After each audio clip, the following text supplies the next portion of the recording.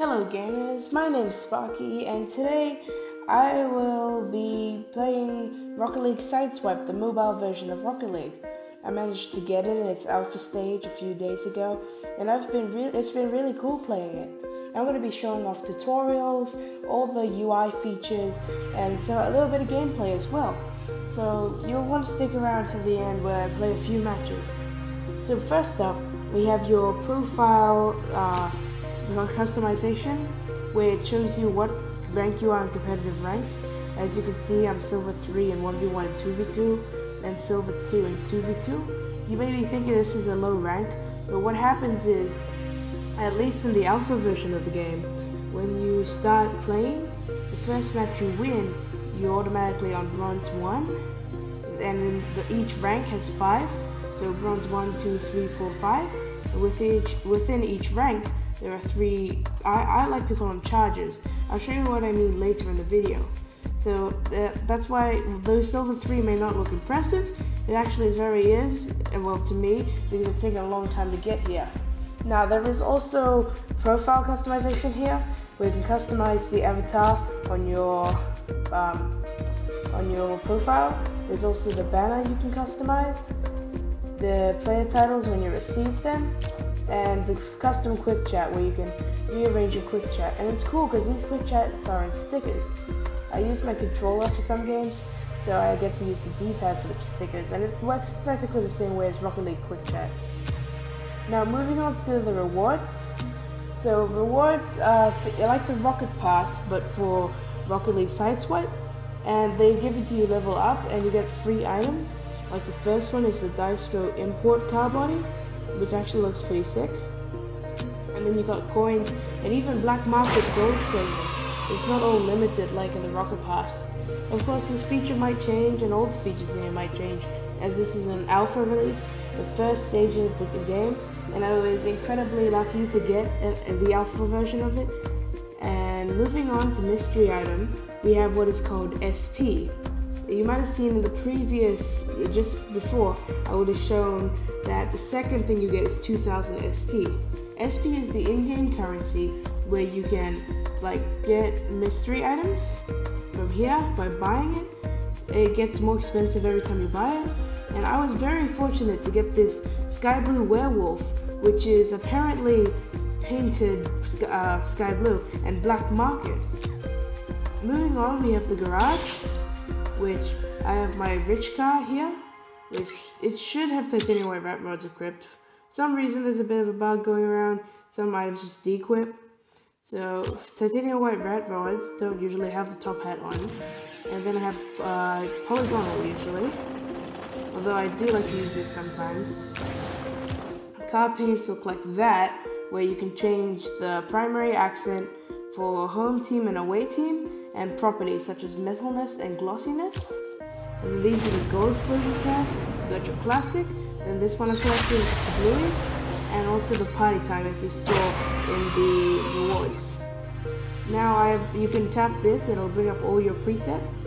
So this is all I have. I got jail, I forgot how to pronounce that, short, squat, and fat, mega mind, Mr. Rich, Original Boy, and Chunky. Practically the only ones that look different from this, pretty cool, probably Megamind, which is MG88 for Octane, and Endo, which is short, fat, is short, squat, and fat. Now, each different decal you get is tied to the car. Like if I tap this icon here, it'll say Octane with the decal MG88. You can't equip decals in this game, you gotta collect them. Such as on the original Octane, if you tap on it, it's Octane, but the decal is default. Thus, that's why I have two Diestros. Because, oh no, not two Diestros. What did I have? Oh, two Octanes, sorry. Which uh, have a different decal on it. You can't create a new preset, but you can always select card. I always like to go with this one. Now, we also have the settings menu. We have game settings where you can adjust your gameplay, audio, and graphics. And this thing actually, if your phone can handle it, or tablet, it has some pretty good graphics on it and it has community updates. You can join the Discord server. It's got your profile, which is practically a link to back down here. and leaderboards for the players that reach Grand Champ. Currently, there are no Grand Champs, and the highest I've heard of is a Plat 4, although it might have changed by the release of this video. There is also credits, which credits all who made the game, like Psyonix and that, as well as account support, which I'm not going to click because that might take me to a website. Now, you can also invite people to the party, which is very cool because you get to see these. You get to see. You can play with other people in your party, sorry. And on solo, we have free play, exhibition, and tutorial. First of all, I'll go through the tutorial to help you learn the general gist of the game, and then we can do some free play. And then instead of an exhibition match, I'll do an online 1v1. So as we're logging in, we log in and welcome to Rocket League Sideswipe. This brief tutorial will teach you the basics of controlling your vehicle. I'm going to use touchscreen instead of controller just so you can see how it is when controlling your vehicle. So we can create a joystick by touching anywhere on the left half of your screen.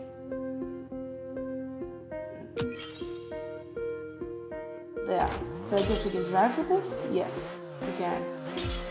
So you can do anywhere on your screen and correct, make a joystick. Now this will help you with in-game. It's a bit laggy, I'm not too sure why. Probably turn down the buffer or something. And you can direct your car where it goes. Pressing the boost button will rocket the car in whatever direction the vehicle is pointing. This is the boost button. So you, you can boost like this. And that circle will always refill when you're on the ground. But if you're in the air, it won't.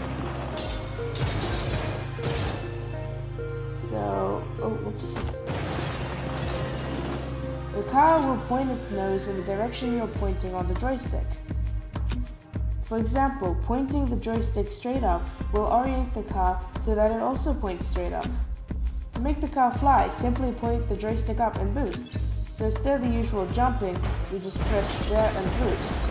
Now as you can see, it runs out and doesn't replenish in the air. Do that. But you gotta wait on the ground for it to replenish. Now you gotta fly through these hoops. Ah.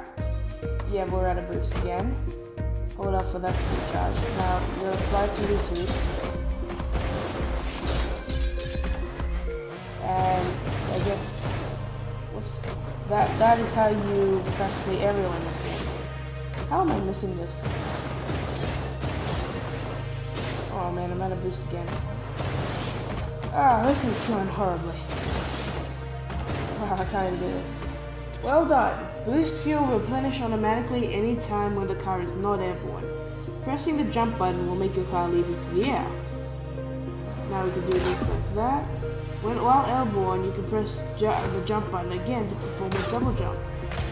That. And it has some pretty cool animations as well. Double jump while holding a direction on the joystick to send the car flipping. That. Those are great for quickly hitting the ball. Kind of use it when there's no boost. Well, that's a wrap on basic vehicle movement. Now it's time to head into free play. Now, free play is the same you would expect at um, normal Rocket League, but except we don't have infinite boost. But since this is alpha stage, that's probably to change.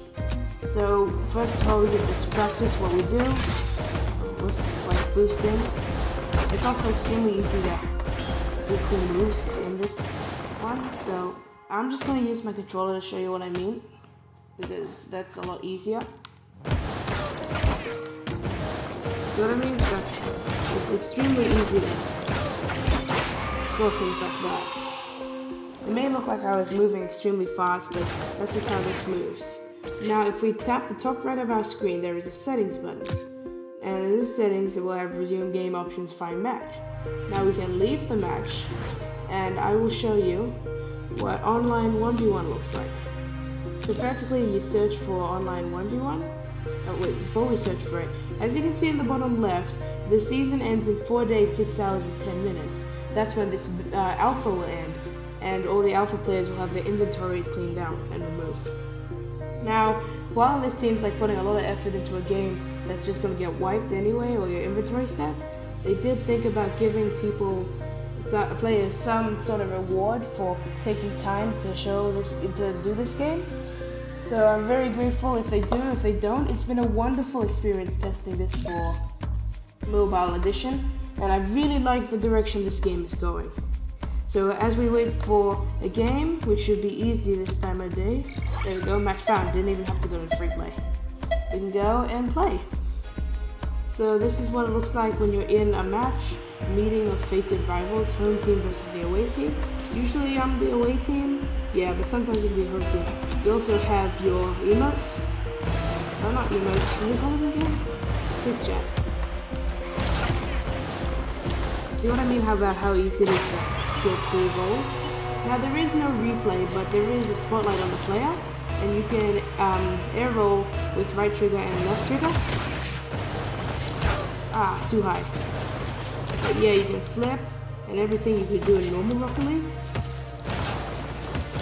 Ah, I missed. That's so missed. Good goal. Oh. Come on. There we go. And boost is like extremely powerful for some reason. But like, I don't mind because it kind of makes sense. Also, I should have addressed this earlier, but you only play on like a 2D plane you can't play like drive around the field, which I think for a mobile game is very good because it'll be very confusing if you don't drive around the field. Now the new mechanics may be hard to get used to, but it's extremely fun to do because like like that you can do some pretty sick whoops. Not like that. Please don't take any advice from me. But but you can do some pretty sick moves. Ah, oh, good. But yeah, this is actual online players. I can't showcase I can't showcase what um, parties look like because I none of anyone I know has this feature, uh, this app. Because as I said, it was a closed alpha, only in Australia, only on Android, the first 1,000 players, I think, or something like that. So, as you can see, I should have mentioned this earlier as well, match length is only 2 minutes long. And also, there's three different maps. You got the Hoops Arena, you got this one, which is called Short Stack. Please don't tell me I am gold. No! Good.